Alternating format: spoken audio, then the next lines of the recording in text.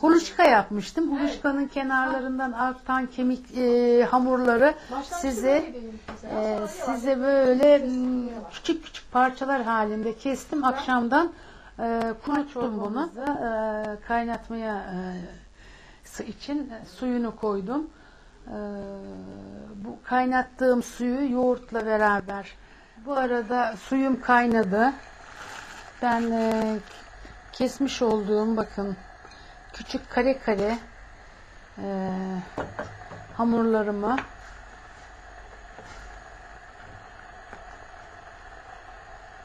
pişmesi için ocağa koydum.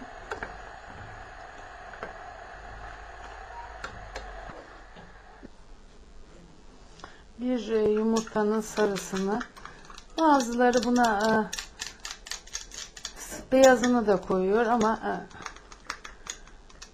özellikle Ayhan Hanım e, sarısıyla yaparsan daha güzel olur dedi.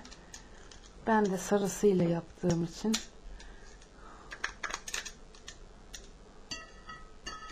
bir yumurtanın sarısını çok az bir tuz attım.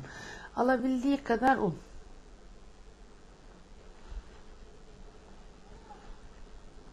Sertçe bir hamur olacak.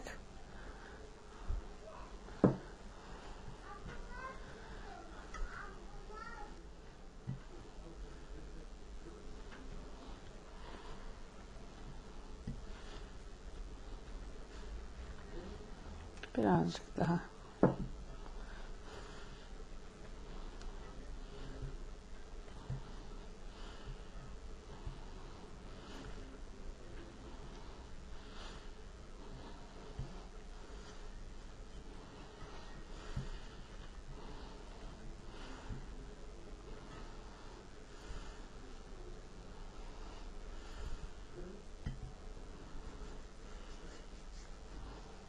Tamam. Bunu biraz bekleteceğiz. Sütü et suyuyla yumuşattım. Süzme yoğurt olacak. Buradaki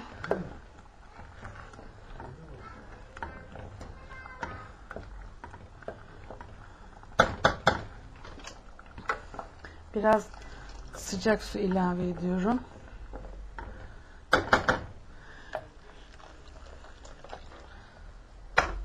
Bunu da tekrar e, sıcak su ilave ederek kaynamakta olan çorbamın içine yoğurdu. Bunu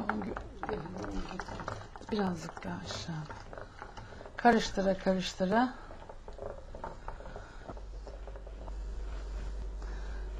çorbamızın üstüne yapmış olduğumuz e, kıkırdak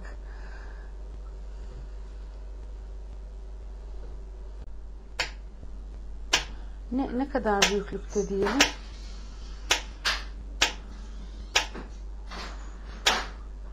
Bak.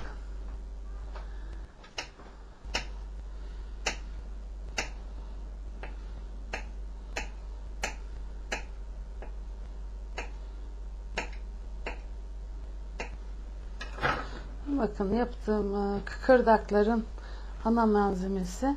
Bunu biraz zeytinyağda çevireceğim. Sonra yağını süzüp içine tereyağı yapacağım. Tereyağıyla daha pembeleştireceğim. Sonra e, servis e, kaselerinin üstüne e, birer kaşık servis yapıp herkes afiyetle yiyecek. Çorbam da pişti.